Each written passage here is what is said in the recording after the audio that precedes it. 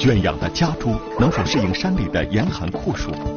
活得挺好，挺多的，看查不过来。藏香猪为什么会被称为高原之珍、雪域之宝？这个藏香猪真的是浑身是宝啊！那就连它的这个粪便也可以去入药。什么样的猪肉才是真正好吃的极品猪肉呢？哎，它是一红一白，一红一白，土味十足的猪宝贝，走遍中国正在播出。朋友您好，欢迎收看今天的《走遍中国》。关于自然界中的动物呢，我们有很多传统的认识，比如说马都是站着睡觉的，红色呢能激怒斗牛，而猪给人的印象呢，一般是一种特别不爱干净的动物。那么这些动物真的就是我们通常所认为的那样吗？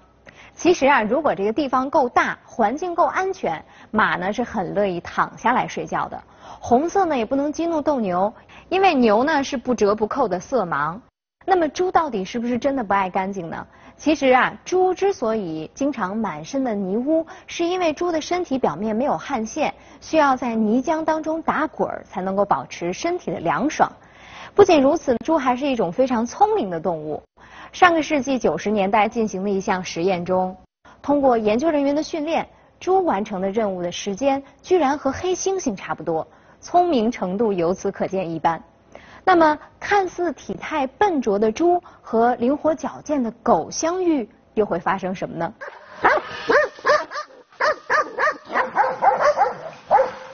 在黑龙江伊春市的义陵山上，我们有幸目睹了一场猪狗大战。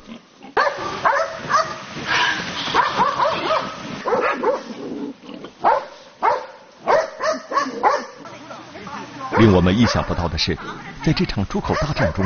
狗群只是在声势上占了优势，而每当正面交锋时，反倒是散养的山猪展示出了它们的野性。李立峰是义陵山山猪饲养的领头人，这些野性十足的山猪就是他饲养的。这是什么呀？这是？这是那个，就是天，这不雨下的大嘛，给猪你上头补点那个料。这个玉米，这就是补点核桃，就是说多补点核桃，少补点玉米。它能吃核桃？哎呀，吃可好了。是吧？从事养猪之前，李立峰夫妇都是铁力林业局的职工，工作地点就是这座义陵山。义陵山位于小兴安岭南麓，曾经是中国非常重要的木材生产基地。我们行车的道路是拆除了当年运送木材的小火车轨道之后形成的。沿着这条路，我们径直抵达义陵山深处。听到汽车的轰鸣声。猪群立即从四面八方向我们靠拢了过来。李立峰夫妇从二零零四年开始养猪二零零九年响应铁力林业局发展林下经济的号召，承包了山林，搭建了几个简易的猪棚，把家里的圈养猪搬到山上散养。当时就是想吧，你说这山顶这么多吃的，我把这个猪给它放到山里试一试。啊，一开始的时候，先期进来的是三十三个母母猪吧，两年的时间，这三十多母猪就是有了十三个，啊，就算成了。其余的也不行，也有有的也死了啊，也有的那个有病了。今天，李立峰邀请了几位朋友，并且带着猎狗一起上山，除了给猪补饲，还有一个目的就是要给大猪称重，因为他在互联网上看到，有的地方一头体重达到千斤的猪可以卖上几十万元的高价。所以他很想知道，放养了近五年的大猪是不是也接近千斤了呢？想要给猪称体重，首先要把散养的大猪装进笼子里。几个人费尽了心思，也没能诱使大猪自己走进笼子，改用绳子套，又是几次都被大猪挣脱掉。李立峰告诉我们，他在网上看到的千斤猪都是非常臃肿，甚至是行动不便。相比较之下，自家的大猪能跑能跳，灵活自如，所以他预测自家大猪的体重也就在七百斤左右。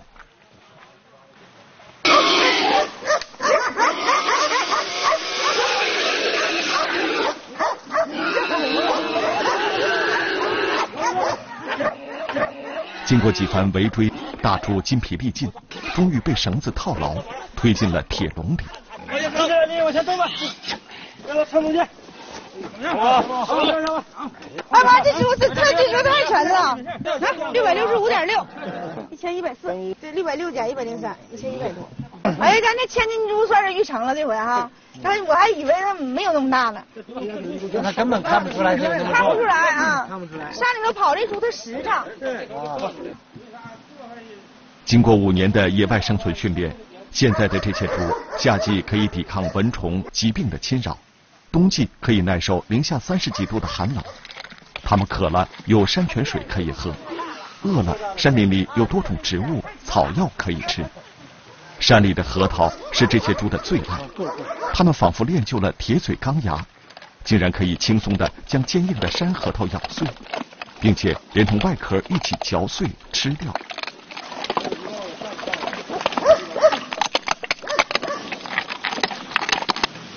就在这时候，李立峰突然得到消息，一头失踪了半个多月的母猪，在山腰的食物补给处出现了。大姐，这是你之前要找的那个猪吗？啊，对，这猪都丢半个月了，这不今天才才回来。但是根据以往的经验，这猪看见是给外面下崽了。你看它这半个月时间里，它早比这个胖多了，它现在特别瘦。它那个要下崽的时候，它不爱在家下，它就得出去上自己去找窝去。但如果找的近呢，这窝近的话，下完崽它就把崽领回来了。但它这好像是肯定是离得远，看这架势啊，对，要走了，真要走了，跟着呢，嗯。为了不惊扰到这头母猪，我们远远地跟在它后面，走进树林深处。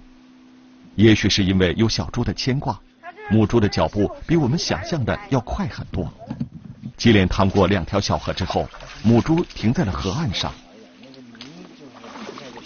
啊，真是下了，生了啊，还生挺多，啊，活的挺好，挺多的，看查不过来。按照李立峰的指挥，我们逐个过河。慢慢靠近母猪和小猪。啊，八个，八个，但我发现它这个搁这过来不是它原来就是下崽的地方，它应该是往回领的时候到这过不去河了。它要是自己下的时候，它把那往常的把那窝垒的特别漂亮，就是有草了、有树棍啥的，就跟那小鸟睡窝似的，它都垒的它自己是啊相中那个窝，完了才能下。但你看这个感觉就像那个就搁土上拱吧拱吧。就好像是猪崽儿到这儿了，过不去河了，临时我扎到这儿。从前要靠人看管饲养的家猪，在适应了环境以后，不仅抗病能力、觅食能力都得到了提高，就连产崽也可以像野猪一样，不需要照看。李立峰在山上散养的猪呢，其实就是普通的家猪。但是在适应了山林的环境之后啊，这些从前被人们圈养的家猪，在山林间生活的是悠然自得。猪的适应能力很强，各种谷物、野果等素食都能成为它的食物。一些野猪还会捕食兔子、老鼠这样的小型动物，就连毒蛇也能成为它们的盘中餐。在生活环境方面呢，山地、丘陵、荒漠、森林对他们来说呀都不在话下，甚至连缺氧、寒冷的高海拔环境，他们也能够应付自如。这种体型娇小、毛色黝黑的猪呢，叫做藏香猪，是西藏林芝地区的一种古老的放牧型猪。它生长在海拔三四千米的高原上。藏香猪的警惕性很高，奔跑速度呢也非常的快，并且呢不怕人。在一般人看来啊，这是一种非常难控制的动物。那么，藏香猪究竟是如何放养的呢？它为什么会被藏族百姓称为“高原之珍、雪域之宝”呢？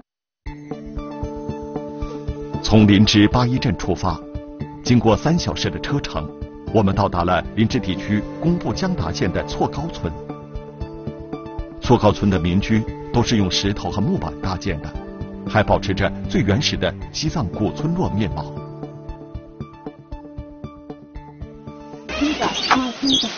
这里的村民家家户户都养殖藏香猪，在养殖户淡藏洛追家中，我们第一次见到了藏香猪。这个藏猪跟那个家猪的这个区别还是挺大的，因为这个鬃毛。比较长，然后还有立起来，感觉就是说还是有一些野性的那种啊。鼻子也会再长一些，耳朵是立起来的。嗯，那它比那个家养的那种猪个头要小啊。嗯，我们藏猪呢，三年四年的话，比太大的没有，最大的五十左右。丹增洛追共养了六十多头藏香猪，大部分的藏香猪都在山上放养，晚上在山上睡觉，而这些留在家中的基本都是母猪和小猪。小藏香猪野外生存能力较差，丹增洛追会每天给它们补充一次饲料，饲料是炒熟的青稞，这不仅是给它们补充食物，更重要的是要小藏香猪记住家的味道。你们去放养的时候，捕饲的时候也要给它喂这个是吧？就是喂这个。嗯这个的话，它身上走那，它喂到这个吐的话，它回来了晚上的。啊，就是从小给它喂这个，然后它就记住这个味道了。然后在山上去叫它的时候，它就会回来哈，就想着这个味道。啊。这块群山环绕的湿地就是淡增落锥的牧场。这里是淡增洛追给藏香猪定点补饲的地方。牧场中还建了两个猪舍，每天晚上在山中放养的猪会回到猪舍睡觉。那你就是把那里还有猪圈啊。淡增洛追的哥哥已经先行来到这里等候了。一般这个补饲是多长时间上来补一次？一个星期补一次。啊，一个星期上来补一次饲。哦。那现在能把那个猪叫回来吗？叫回来。可以哈，那你们那你们叫吧。哈哈，叫。呀呀，呀呀，呀呀呀，呀呀，呀呀，呀呀，呀呀。几分钟后，几头猪就跑了过来。但曾洛追说，这是在附近吃食的猪，而跑得远一些的还要多换一会儿才能回来。呀呀，呀呀。十几分钟后，又有几头猪回来了。哦，这儿一二三四五六七七只了。经过清点，还有十四只猪没有回来。但宗洛追说，要到附近的山里去找到它们。我们跟随但增洛追一起来到附近的山上，寻找没回到补饲点的藏香猪。山上随处可见各种野果，但增洛追说。这些都是藏香猪平时吃的食物。藏香猪吃的最好的就是这个青稞子。现在这个新出来的，你看嘛。嗯。那么小嘛，八九月份的话，这个掉下来了。就会长大。嗯，长大。掉在地上，然后猪就会吃它。就是，你看嘛，青稞子。啊，要把它外面这个剥开是吧？嗯，剥开。它长大的时候，它自己剥开了。啊。猪吃这个有什么样的好处呢？对它？猪这个吃的话，还是长大了，还是那个吃的话，猪那么肉肉太多了，油不要太多。哦，就是猪吃了这个之后，它的那个肥肉就不会很多很腻的那种啊。夏季，林芝地区的山里开始生长各种野生菌菇，这也是藏香猪的美食。哎呀！很快，我们就采到了几只菌菇，并且有了更惊喜的发现。哎，你看嘛，这里这是松茸了。这个松茸就是长在这个这个树底下啊，树底下，松茸就是青稞树的底下，其他树的底下出来的话，这是假的。哦，就是在青稞树底下。这个是正宗的。猪也会吃这吃它吗？吃了，肯定哇，那猪吃的这个猪的伙食太好了。就是就是。就一般都是在这边活动是吧？就是。也许是山里的山珍太多。让淡增洛追家的猪乐不思蜀了。每次捕饲，淡增洛追都要去山里找到没回来的猪。这样做的原因，并不是怕他们吃不饱。好，嗯，呀呀呀呀呀呀呀呀呀！呀呀！咱们这个猪有没有那种找不到的？就是呃啊，一个星期还是三四天，嗯，补一次饲料，嗯，不补，咱们不去看的话。那一你一直这山上放的话，那他们人都不认识。所以就是这个补饲是特别重要啊，是一个联络感情。就是就是呀呀呀呀呀呀！寻找了一会儿后，终于有几头猪跑了过来。呀呀！哎哎，我看到了，看到了，看到了。那个那个猪那边。啊，看到了，看到下来了。呀呀呀呀呀！哦呀呀呀呀呀呀！呀呀呀呀！头的猪啊，啊，就是啊。找到喽找到了找到了。嗯下来了呀呀呀呀呀呀呀啊你可以摸它的。嗯就是。那我可以摸吗？嗯可以吗？哎呀平常还是不认识我。不认识就是。是吧？嗯不认识我他就不会让我摸啊。呀。他的鬃毛很硬。鬃毛还是很硬啊。由于藏香猪放养在山林间，常年食用丰富的野生植物和藏药材，因此肉质上乘，是不可多得的美味。甚至连猪粪也有着特殊的用途。这个做药的。猪粪可以做药啊？哦，那这个是怎么做呢？这个装到桶里。嗯，烤好烧了。那您家里有没有就是用猪粪做药引子制成的药啊？有，有的。嗯，我们能看一下吗？好，可以。嗯，这个没有关系的，就这个。哦，就是这个哈，这个上面写着就是这个药是可以治疗这个胃炎啊，治疗胃病的一种藏药，真的挺神奇的。这个藏香猪真的是浑身是宝啊，那就连它的这个粪便也可以去入药。就是。嗯。作为常见的家畜之一，猪已经不是什么稀罕的动物了。而作为人们餐桌上常见的食材呢，猪肉的价格也并不是特别高。但是在安徽安庆啊，有一种猪肉的价格却在每公斤一百块钱左右。猪小排的价格呢，更是高达了每公斤两百元。它就是安庆六白猪。这六白猪呢，顾名思义就是有六白啊。你看它呢，四蹄是白的。尾巴呢是白的，还有鼻子中间也有一道白。据说这个六白猪呢，猪肉是香而不腻，入口即化，这口感是一点都不逊色于顶级的雪花猪肉。但是由于六白猪的饲养周期相对比较长，饲养成本呢也比较高，许多的农户啊就转为饲养经济型的瘦肉猪了。六白猪呢就逐渐远离了人们的餐桌。为了恢复这种日渐稀少的宝贝，安庆市建立了。成岭养殖基地，六白猪的繁育问题得到了解决。随着六白猪数量的逐渐增多，我们又能够品尝到这种老味道了。在安庆市太湖县六白猪成岭养殖基地，我们采访到了研究猪品种的专家张伟丽，他正在给刚出生的小猪做体检。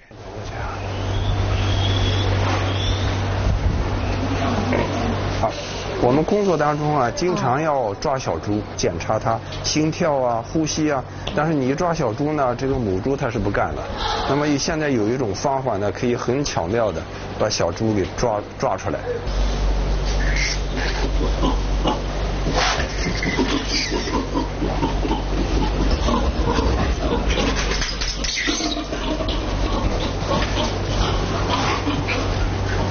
为小猪做体检时需要特别小心，必须要等到母猪睡觉的时候才能进行。一旦母猪发现有人抓猪仔，就会暴起伤人。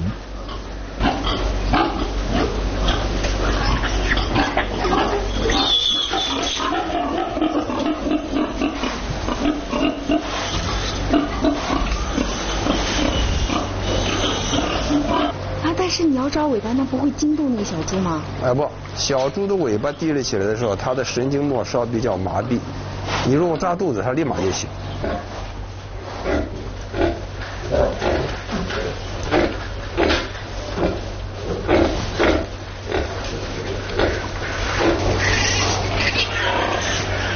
这样能怎么走？它的健康状况？它眼睛是清亮的，呼吸不急就是了。正常。啊。这个小猪漂亮吗？漂亮。对您的审美来说，怎么看它太漂亮了？双眼皮看了吗？大眼睛，双眼皮看美女是一样的，只要双眼皮、大眼睛都好看。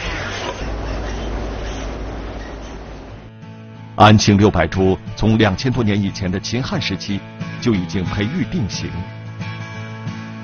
为了适应当地多山多水的特点，它们竟然可以像狗一样昂起头来。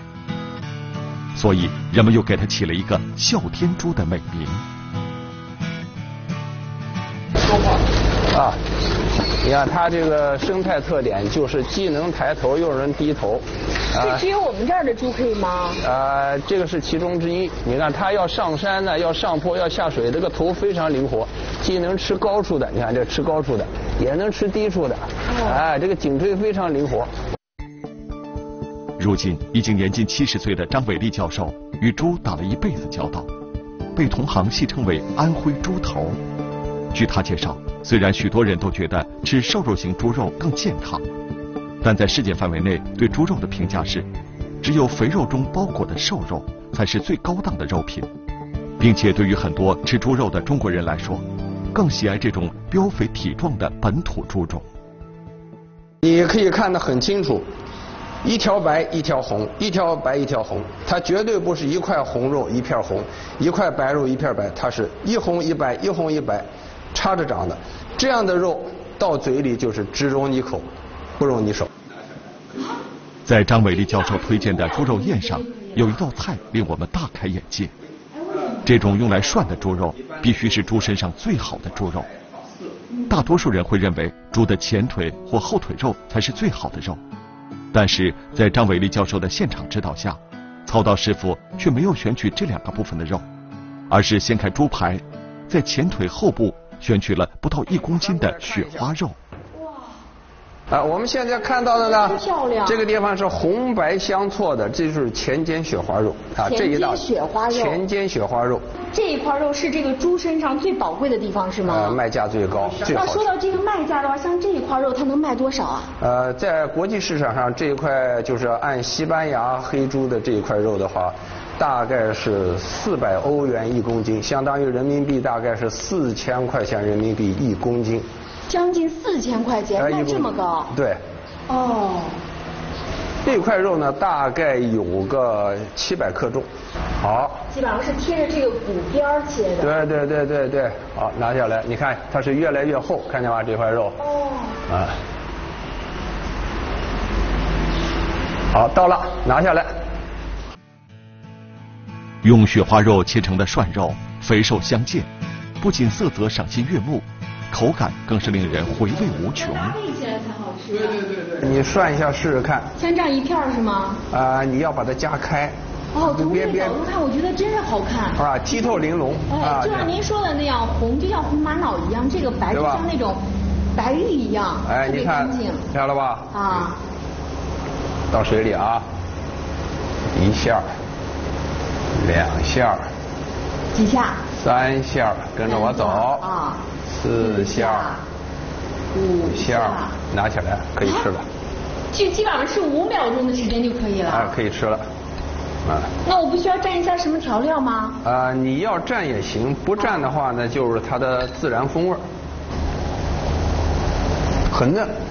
嗯，真是。是吧？虽然只涮了五秒钟，但是感觉到这个肉因为过于鲜嫩，所以很快就熟了。啊。嗯。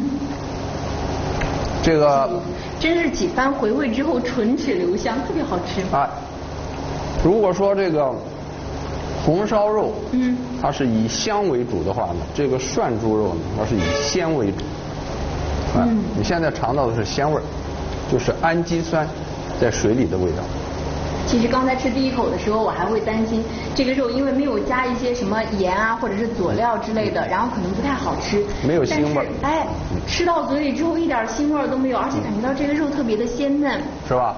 猪肉不仅味道非常好，营养呢也很丰富，而且在相同的重量之下，猪肉中的维生素 B 一的含量呢是牛肉的五倍多。因此呢，建议您吃猪肉的时候可以搭配一些大蒜，这样呢有助于延长维生素 B 一在体内的停留时间，对促进血液循环、消除身体的疲劳、增强体质都有一定的作用。